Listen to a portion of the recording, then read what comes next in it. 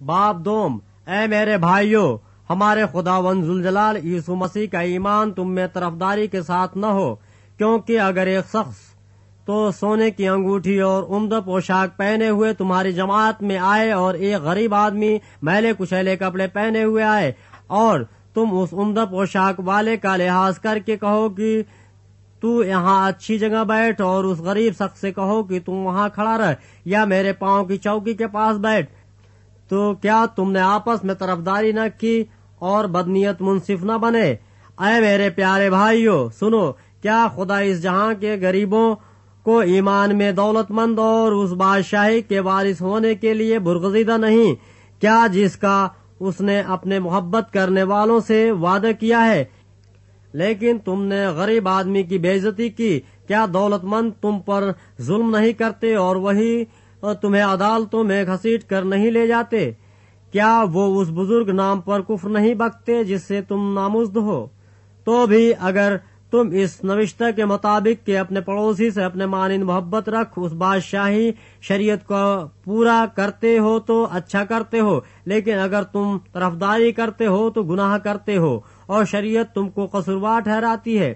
کیونکہ جس نے ساری شریعت پر عمل کیا اور ایک ہی بات میں خطا کی، وہ سب باتوں میں قصوروار ٹھہرا۔ اس لیے کہ جس نے یہ فرمایا کہ زنا نہ کر، اسی نے یہ فرمایا کہ خون نہ کر۔ پس اگر تو نے زنا نہ کیا، مگر خون کیا تو بھی تو شریعت کا عدول کرنے والا ٹھہرا۔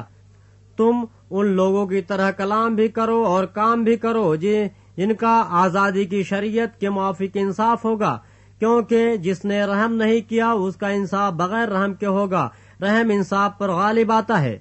اے میرے بھائیوں اگر کوئی کہے کہ میں ایماندار ہوں مگر عمل نہ کرتا ہو، تو کیا فائدہ؟ کیا ایسا ایمان اسے نجات دے سکتا ہے؟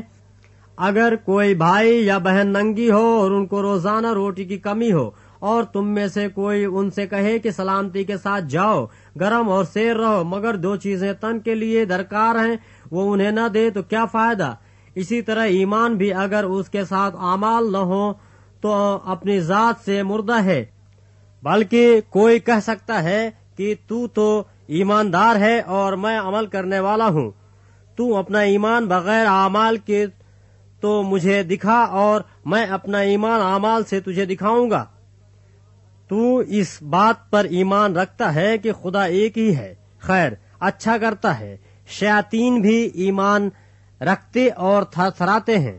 مگر اے نکم آدمی، کیا تو یہ بھی نہیں جانتا کہ ایمان بغیر اعمال کے بیکار ہے؟ جب ہمارے باپ ابراہم نے اپنے بیٹے اظہاق کو قربان گاہ پر قربان کیا تو کیا وہ اعمال سے راست باز نہ ٹھہرا؟ بس تو نے دیکھ لیا کہ ایمان نے اس کے اعمال کے ساتھ مل کر اثر کیا اور اعمال سے ایمان کامل ہوا۔ اور یہ نوشتہ پورا ہوا کہ ابراہم خدا پر ایمان لایا اور یہ اس کے لیے راست بازی گنا گیا اور وہ خدا کا دوست کہلایا۔ بس تم نے دیکھ لیا کہ انسان صرف ایمان ہی سے نہیں بلکہ اعمال سے راست باز ٹھہرتا ہے۔ اسی طرح راہ بحفائشہ بھی جب اس نے قاصدوں کو اپنے گھر میں اتارا اور دوسری رات سے رخصت کیا تو کیا اعمال سے راست باز نہ ٹھہری؟ غز جیسے بدن بغیر روح کے مردہ ہے، ویسے ہی ایمان بھی بغیر اعمال کے مردہ ہے۔